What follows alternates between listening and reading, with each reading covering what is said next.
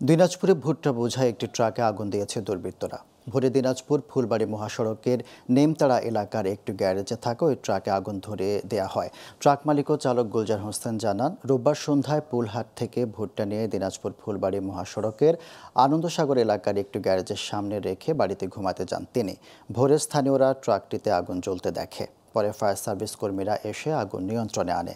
Dinajpur police super Shah Iftekhar Ahmed জানান, দুষ্কৃতকারীদের দ্রুত আইনের আওতায় আনার চেষ্টা চলছে।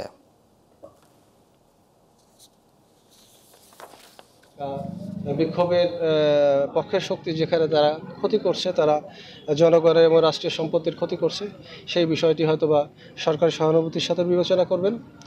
আর আমরা আমাদের পক্ষ থেকে এই যিনি মালিক গুলজার আহমেদ তার কাছ থেকে আমরা অভিযোগ আমরা প্রাপ্তি সাপেক্ষে আমরা আমাদের পরবর্তী আইনগত ব্যবস্থা আমরা গ্রহণ করব।